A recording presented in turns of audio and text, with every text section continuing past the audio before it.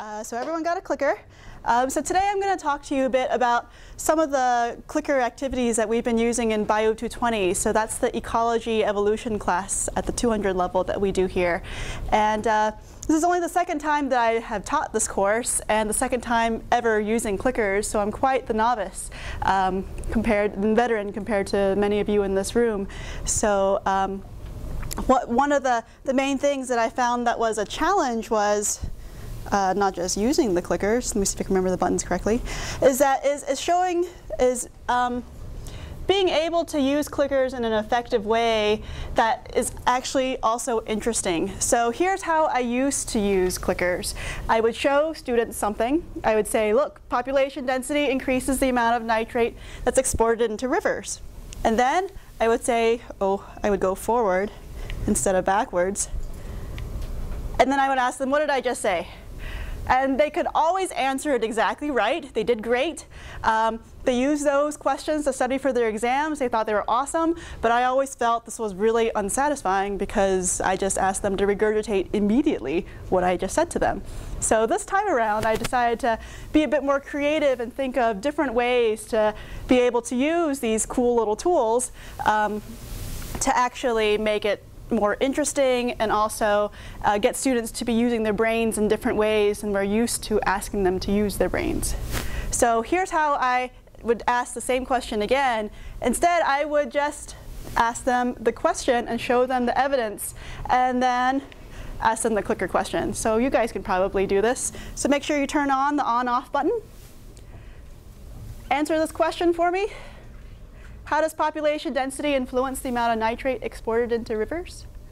I have to uh, start. And then I could see, you guys use iClickers before? I had never have either. So uh, that's the number of people that have logged in. And um, if you voted, your vote status button should turn green. Um, Brian actually should be explaining how to use iClickers and not me because he is our local expert. So if you have more questions about clickers later, he's the man to ask. So um, I think I will stop here and uh, start stop. Okay, and then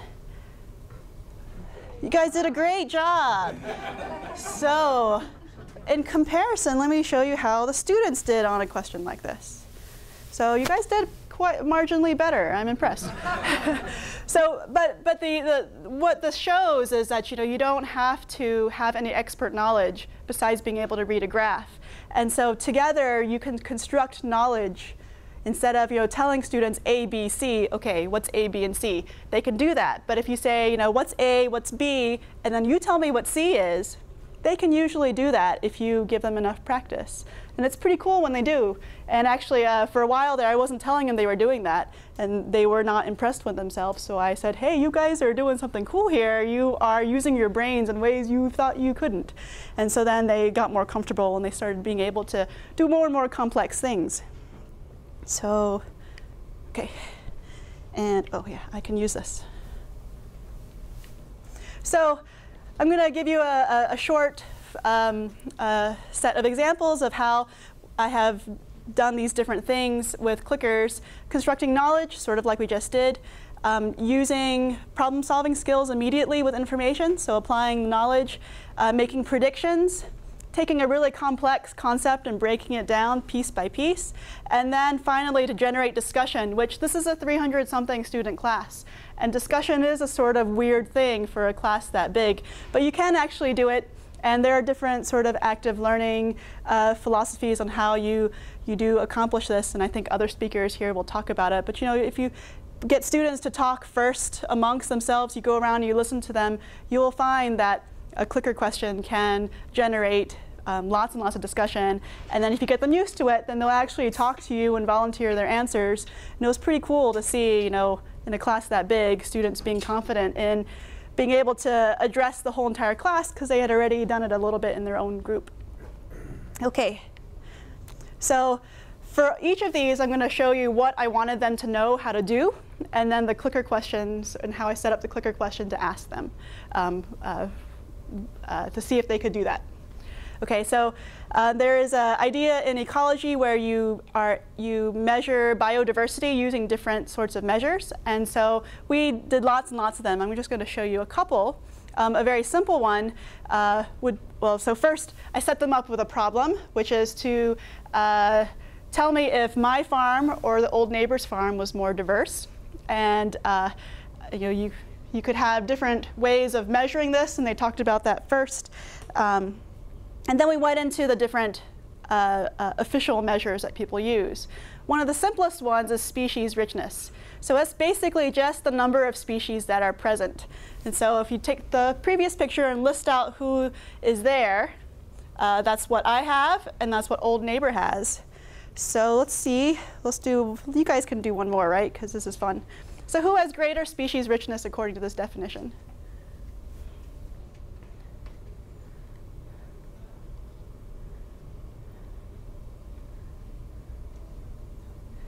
Um, supposed to stay on? I don't know. I don't think so. I think it just It flashes? okay. Okay. So how many have clickers here? 1, 2, 3, 4, 5, 6, 7, 8, 9, 10, 11, 12, 13, 14. Okay, so when we get about 13, 14, I think that's everybody. Okay, so stop. Display. Okay, so uh, some of you were undecided. Or um, we, had, we had some different uh, responses here. Uh, you guys, have any of you used clickers before? I didn't even ask. Have any of you used clickers in the classroom? No? So I'll, I'll just talk a little bit about how you can facilitate uh, the transfer of knowledge with clickers a tiny bit for those of you who aren't familiar. So when you get some, so, some responses like this, um, yes, everyone's going to think the right vote is the one that has the majority of points, but that's not necessarily going to always be true. And you know, you can get, judge yourself from your classroom what your threshold is for how much time you spend explaining when there are some splits. So for me, anytime around 90% would usually, okay, I don't have to spend a lot of time explaining. Um, the students can talk amongst themselves and uh, set that the remaining 10% right. Um, or set, set that remaining 10% who didn't get it right, right. Uh, but it's kind of up to you to decide, and you kind of want to make it clear to the classroom that that's what you're doing. So they'll know when to expect a long explanation and when not to. So how did the students do? So you guys were about equal there? Okay, so here's a more complicated one. Here, this involves an equation. So for those of you who are in biology know that a lot of biology students get freaked out when they have to use math because math shouldn't be in biology. These are two different subjects. What in the world are you doing to us? Uh, we, we actually use quite a lot of math in ecology. Um, and so we try to get students used to doing math and doing it right away. So I'm not going to explain the equation to you, but after going through describing what the equ equation means, um, I set them up with a problem. So they have to calculate the, this index for my farm and give them a little time to do it. And then when they're ready, um, we talk about what the answer is. And then I tell them a clicker question is coming, you're going to have to calculate this. And then they get freaked out and they ask for more time, which is fine. Uh, and um, uh, they have to fill in this, this table the rest of the way and uh, come up with the answer to this question of who has more diversity according to this index. And uh, because I know you guys didn't bring your scientific calculators with the log button, we'll skip that. Um, and you can see that actually, you know, when students are working together on a complex problem like this, they can do pretty well. So, so the correct answer is B. 1.6, I think, was higher than 1.3 on the previous slide. And so they, they did pretty good there. Okay, so uh, another activity we did using clickers um, involved making predictions, and then we did a sort of pseudo experiment using a simulation model that was available online. So I had them first make a whole series of predictions, and then we kind of did the experiment. And so this involved trying to predict what happens to organisms, um, how they move across a landscape that has different features. So you know, being able to cross rivers and, and mountains and that sort of that sort of idea. So this example I gave were with these two species of butterfly that eats this plant. This plant is distributed in only these dark green patches. So these butterflies have to be able to fly from patch to patch to be able to survive in the landscape. And so then we talked about some different scenarios of habitat loss where you don't have some of these patches, you don't have all of those middle patches, or you have only the middle patches. And given some information about these butterflies, they had to be able to predict which species would be more persistent in each of those scenarios. So they got together in their groups and they answered this question for each scenario. So for the first one, um, the prediction sort of went all over the place. But more or less, they thought they'd be equally persistent in this scenario where no habitat was destroyed. For these other two scenarios, this species won out because it could move further. So given that this species cannot move very far, and this species can move really far, what do you guys think would be the answer? What, what is your prediction for um, this particular scenario where you only have those patches in the middle? Do you think the first butterfly would be able to be more persistent or the second or equal? So one thing that we're not doing here, which our, my students usually would do, is to talk to each other before they decided, but you guys don't have to do that. But uh, depending on how you're using these, these clickers. You may want to, to set a, a, a usual practice for clickers. You know, if you don't want them to talk about it before they make their choice, say so. Otherwise, the default is you get to discuss your answer first. Okay.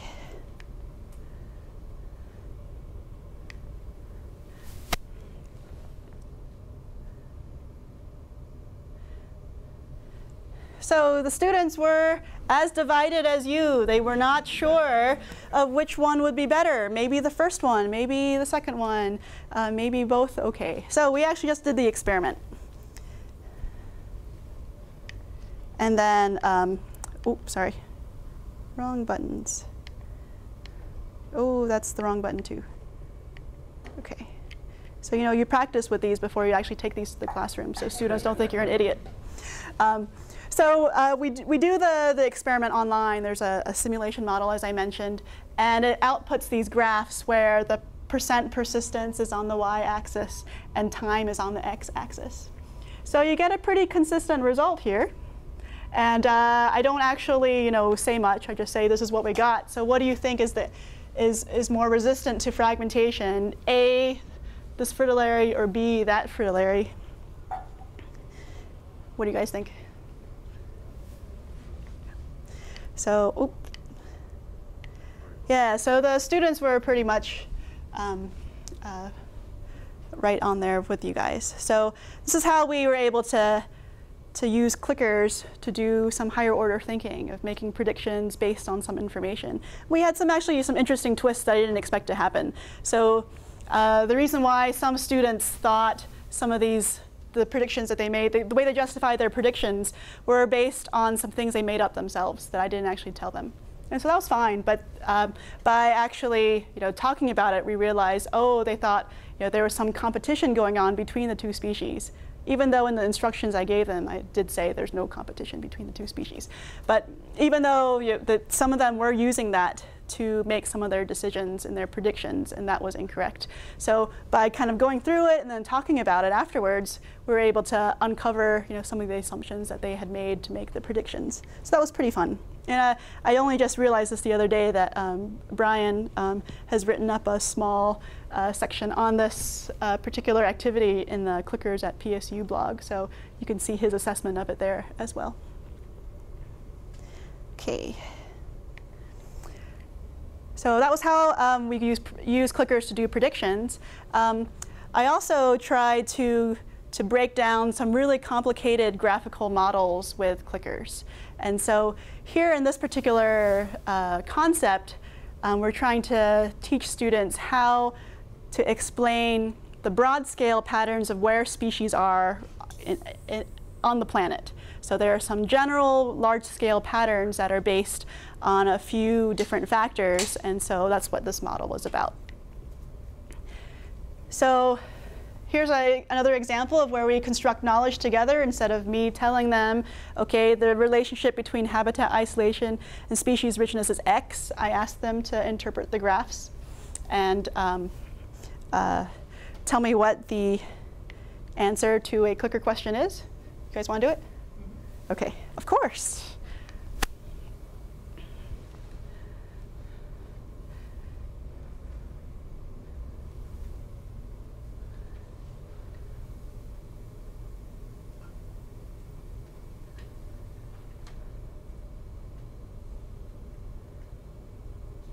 So I think there'll be about 15 unless um, some of you don't feel like answering. Okay, that's pretty good. Okay, so can I make this smaller, Brian? Like this? No. Oh, okay. no, yeah. okay, so um, actually the students kind of felt the same way, right? So they, they did sort of split up a little bit too. Um, and what what we talked about afterwards. So, you know, I usually let them come up with their confusions on their own and ask me to explain, as opposed to say, say, tell them, you know, oh, this is going to be hard because you're going to be interpreting more than one thing at a time here, and then explain later. So. Um, you could see that a, a bunch of them thought that it would be B because they were not really thinking about uh, the increase is this versus this, they were looking at this. So that, that was a tricky thing. And some of them still didn't get it, and they did come up to me afterwards. But we did talk about that for a really long time because I realized that that was something I didn't practice much was a complex graph where there was more than one factor going on at once. But still, they, did, they didn't do so bad. So that was definitely below my 90% threshold of, yeah, we got to spend some time explaining.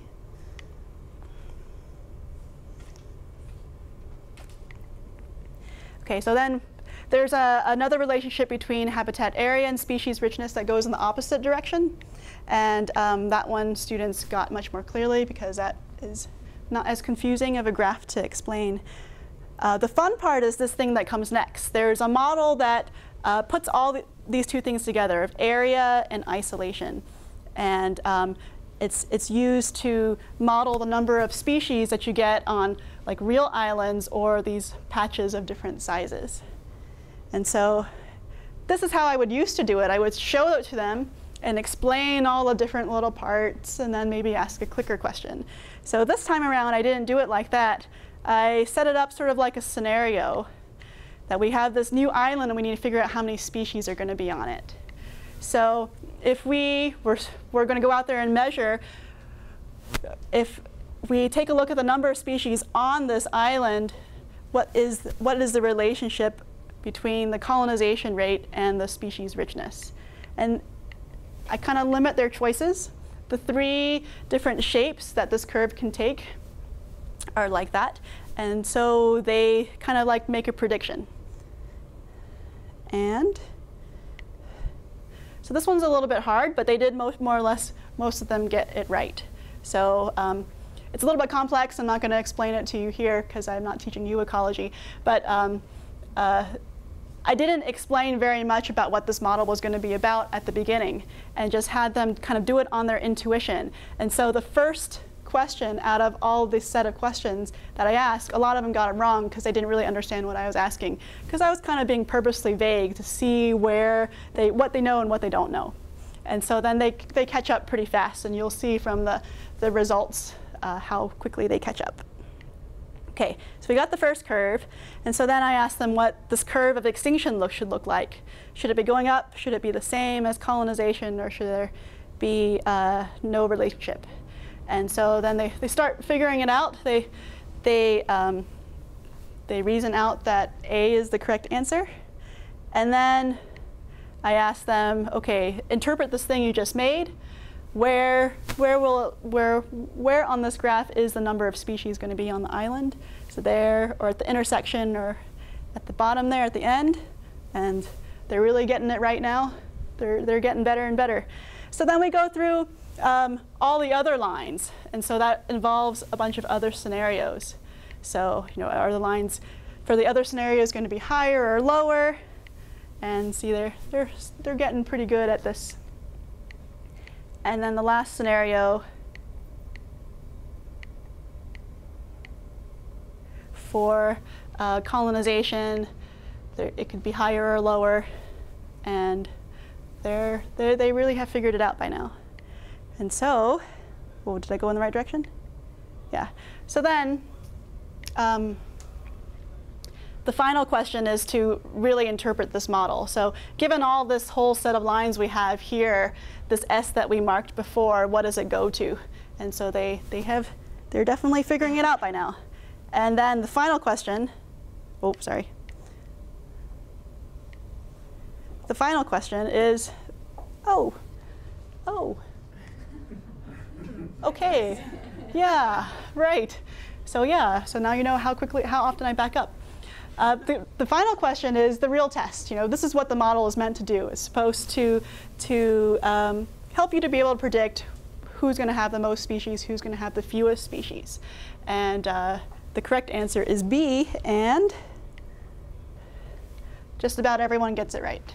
So you kind of see how the, the wrong answers start to whittle away and more, pe more people get the right answer.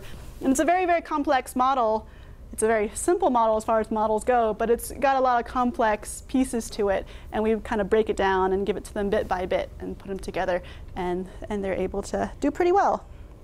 So uh, clickers don't always you know, do exactly what you think they're going to do, just the same as any other active um, engagement sort of activity can go wrong. So I think this is what's coming up next.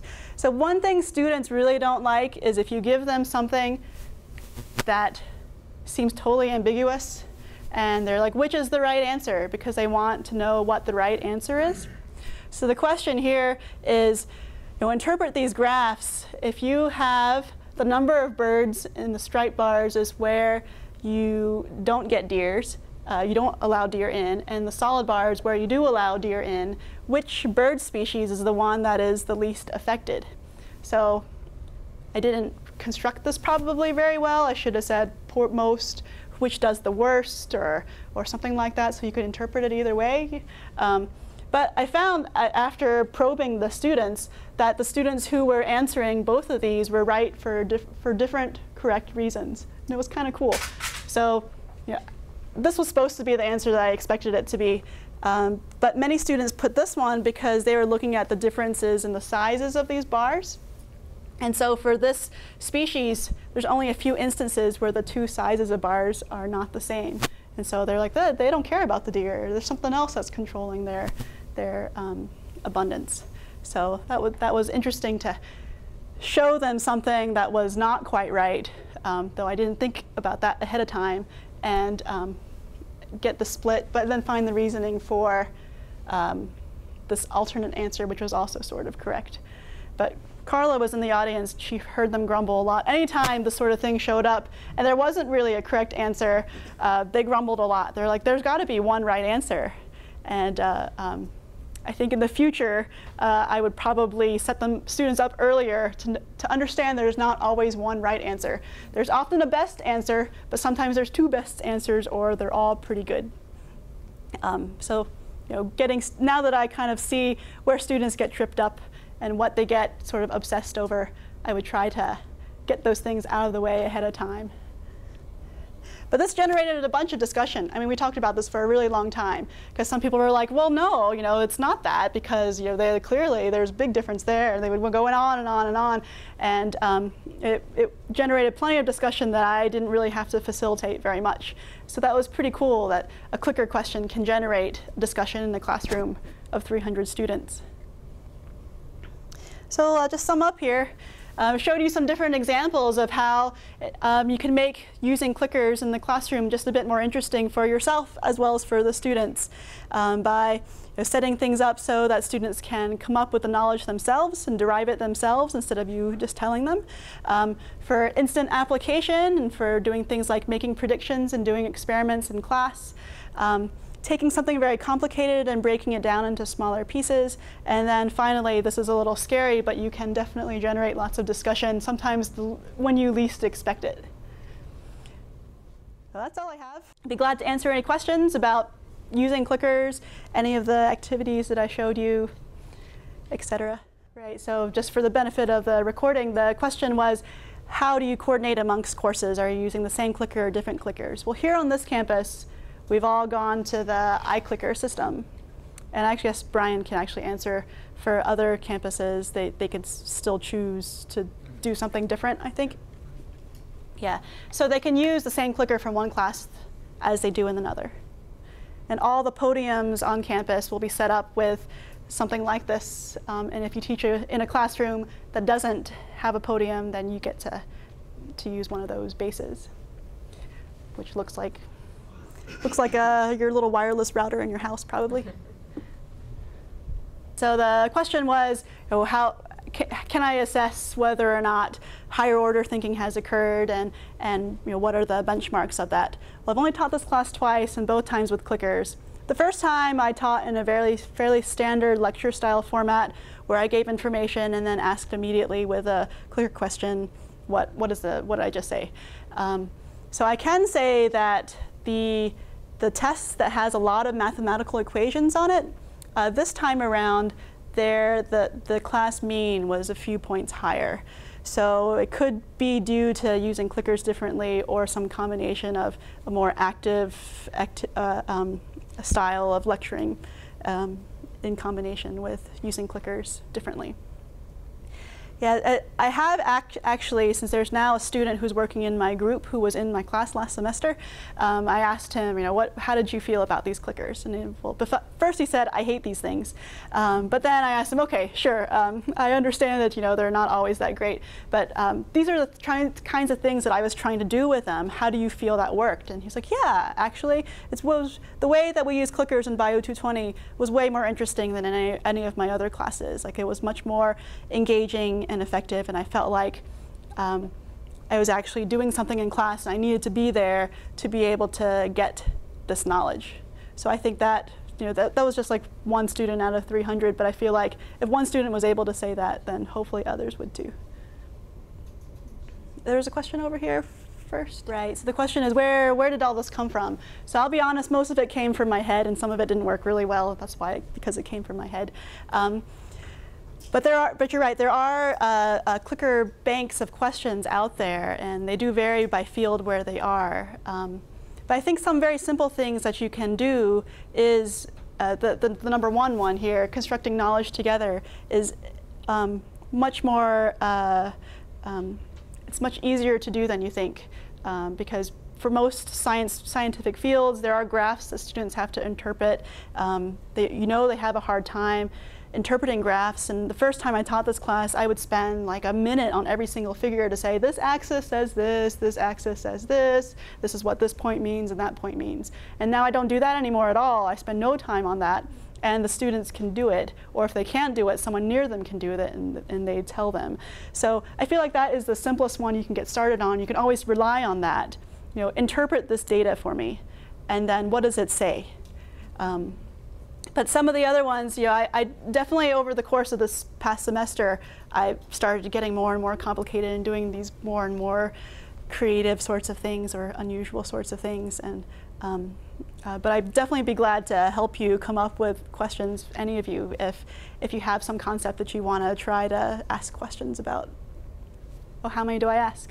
Okay, how many clicker questions do I ask? Uh, it kind of depends. So the one where I broke down that graphical model, I think that one had 10 or something like that. But sometimes they're as few as three or four. Um, and they all, all usually are spaced, if I don't do them all throughout, they would be spaced every 10 or 5 or 10 minutes, something like that.